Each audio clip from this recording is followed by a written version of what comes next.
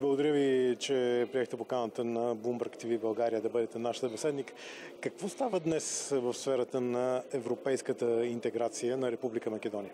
Македонија денес, денес за разлика од пред еве, пред, од пред две години, веќе се движи во однос на европските интеграции, бидејќи пред две години, 2016 година, Македонија беше оценета како заробена држава. Оваа година таквата оценка веќе се промени. Се сеќаваме на советот под бугарското председателство од јуни оваа година, кога беше донесена одлука дека Македонија ќе отпочне преговори следната година. Во овој момент веќе комисијата работи технички на подготовките на, на подготовката за преговорите и на скрининг процесот во во неколку поглавја, односно практично го започнуваме скрининг процесот веќе со Европската комисија. И од таму мојот заклучок е дека Македонија во однос на европските интеграции веќе се движи. Скрининг процесот започна, това добра новина ли е за европейската интеграција на Република Македонија? По мене исклучително добра новина, бидејќи тоа го задржува фокусот на на администрацијата, на оние луѓе кои што ќе бидат највеќе задолжени за спроведување на на реформскиот процес. Создава одреден притисок кај политичарите заради изградување, градење на на консензус по одредени прашања, не подготву, ја подготвува структурата за тоа што може да очекува во, во следните чекори. Едноставно тоа е не одржува во живот или не одржува над нивото на, на водата. Ако водата е интегрирањето или пливањето, не одржува над нивото на водата. Интересен е този въпрос с какво български опит в сферата на евроинтеграцията може да бъде полезен и важен за Република Македония? Добро, прво Македонија и Бугарија минатото лето го подпишаа договорот за пријателство и добрососедство. Тоа е првата работа која што и даде живот на му даде живот на целиот овој процес на европско интегрирање. Ние видовме Македонија како високо на листата на приоритети на бугарското председателство во првата половина на оваа година. Успеавме да го видиме враќањето на Западниот Балкан како тема, добра тема во ЕУ, благодарение на, на Бугарија. Мислам дека има многу работи за кои што можеме да, да зборуваме како искуство кое што би можело да биде пренесено, колку во однос на самата структура за преговори, толку и во однос на, на самиот процес на, на преговорите. На крајот на криста, да знаете, преговараме со Унијата, односно со сите држави членки, меѓутоа понекогаш и државите членки можат да зборуваат за државите кандидати. Референдумот во Република Македонија може ли да попречи на европејската интеграција на вашата страна? Референдумот зависи како сакаме да го гледаме. Јас сакам да го гледам како консултација со граѓаните во која што граѓаните во големо мнозинство, во огромно мнозинство излегоа и кажаа да кажаа дека се согласуваат со пристапувањето на Република Македонија во Европската унија и во НАТО и со поддршката на договорот со Грција. Оние кои што одлучија да не излезат на референдумот, одлучија да не бидат слушнати во, тој, во таквиот консултативен процес. Защо ВМРО ДПМН днес изостава от историческите решения в Република Македония и нейната евроатлантическа интеграция? Постојат многу образложенија поради кои што би можеле да за кои што би можеле да зборуваме, меѓутоа мислам дека голем дел од од лидерството на на ВМРО ДПМН во овој момент не може да размислува за обстанокот на државата бидејќи сака да размислува за собствениот обстанок или мора да размислува за собствениот обстанок. Размислувајќи за собствениот обстанок ја држи целата партија во во заробеништво или ја грабнува шансата на партијата да биде дел од одлучувачките процеси.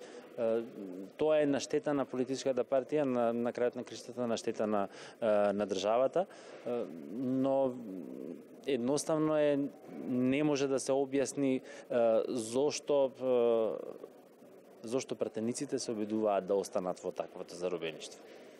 Има ли возможност правителството на господин Зоран Заев да осигури необходимите гласове за да се гласуват конституционните промени?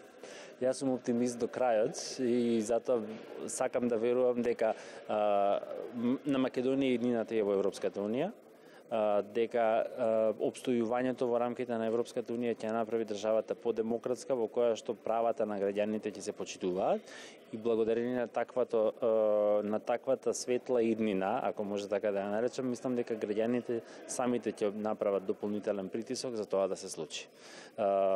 И од таму верувам дека местото на Македонија ќе биде реализирано сега, овој пат не во некоја во некоја следно време за некоја следна генерација. В многу сложен момент обаче беше реализиран референдумот в Република Македонија. Виждате, меѓу Косово и Србија се говори за размяна на територии, подјалба нова. Тоа влијае ли врху вътрешно политичката обстановка в вашата држава? Објективно ќе има влијание, има влијание на ниво на дискурс во во јавноста, мислам дека многу малку тоа се забележува, а оние кои што го диктираат дискурсот за за движењето на бойкотирам или пак за овие кои што се обидуваат да ги блокираат сите овие процеси, се обидуваат да го дискредитираат таквото влијание со приказни за сеење страф не е тоа приказ на засејање страф ако ако објективно може да се случи многу едноставно и многу брзо.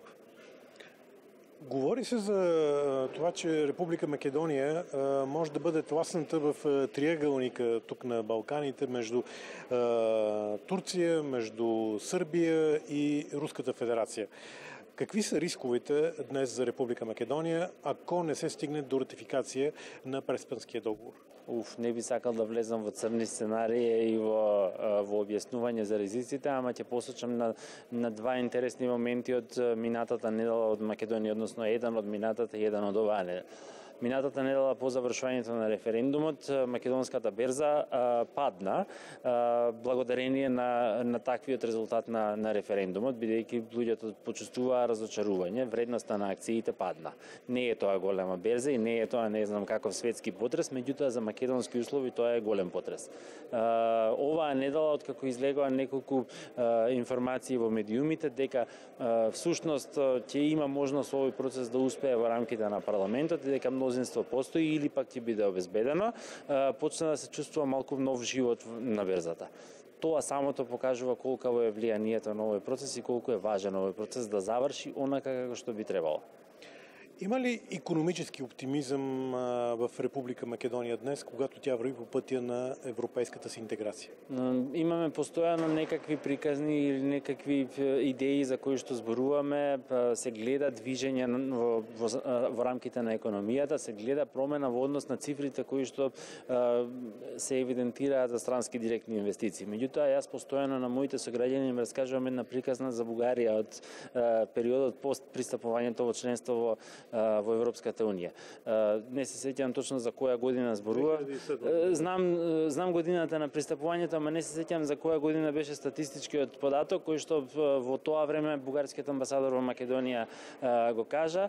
Рече минатата година во Бугарија имавме 700 милиони евра странски директни инвестиции, имавме 300.000 странски туристи. Замислете вели вика ако секој од тие туристи потрошиле барем по 1000 евра, а може би потрошили повеќе, ама еве да речеме во просек по 1000 евра, тоа се уште 300 милиони евра. Тоа се една милиарда евра пари кои што се дојдени како инвестиција, како подкрепа за економијата. Тоа е приказната која што сакаме да ја видиме во Македонија и која што македонците треба што повеќе да ја третираат како своја приказна, да да се препознаваат во таквата приказна. Македонија нема шанса за економски развој, не може да биде Швајцарија на Балканите, тоа мислам дека е илузија која што мора да си ја избиеме од главата. Македонија има шанса за економски развој и за обстанок само ако биде дел од светските текови и дел од овие две алијанси НАТО и Европската унија. На крај на нашиот разговор, господин Сојковски, благодаря ви за търпението, което имахте за да дадете това наистина интересно интервю за Bloomberg TV България. Кажете ми, как виждате днес Возможностите пред Република Македонија. Уф, има има раскошна палета на на можности, меѓутоа сите се поврзани со со овие два процеси, со интегрирањето во во НАТО и интегрирањето во во ЕУ. Постоењето на на интегративниот процес или живоста на интегративниот процес ќе не одведе во во убавото сценарио непостоењето или уништувањето на ваквата перспектива ќе доведе до тоа Македонија да се бори за собствениот обстанок или да да ја докажува собствената државност. Искрено не би го посакувал тоа и мислам дека мнозинството од, од моите сограѓани не го посакува тоа. Кој сценарија најреалистичниот според вас? Добрија или лошија за Македонија? Уф, реков, јас сум непоправлив оптимист и затоа ќе верувам во доброто сценарио. Съвсем накрая вече на нашия разговор, бившият български президент Георги Парванов се обяви да бъде преложен анекс към договор за приятелство между Република България и Република Македония след новото име, което ще има вашата държава. Трябва ли да се наложи анекс в договора между Скопия и София? За тоа ќе треба да да прашате оние кои што се најповикани. Искрено не би можел да да зборувам за договорот, ниту пак за потребата од измени на договорот. Она што можам да го потврдам е дека прво расположението на граѓаните на Македонија кон договорот се менува кон подобро нашите нашите истражувањата на јавното мислење во во минатата година и оваа година, почетокот на оваа година покажа промена кон подобро. Најпрво имаше некои 40 на проценти, 42% од граѓаните кои што сметаа дека договорот е добар. Во, тоа беше во ноември минатата година, оваа година во март бројот беше веќе речиси 50%. Меѓу другото, многу од граѓаните ја препознаваат Бугарија како пријател и на директно прашање кои држави ги препознавате како пријатели на, на Македонија, ја препознаваат Бугарија како пријател. Тоа е за мене добрата мерка. Не би можел да зборувам дали е потребно анекс кон договорот. Искате да ми кажете, че одношението към Българија се променя в Република Македонија, така ли да ви разбирам? Да, да, се менува и тоа се менува кон подобро. Благодаря ви за този разговор. Благодарам на вас.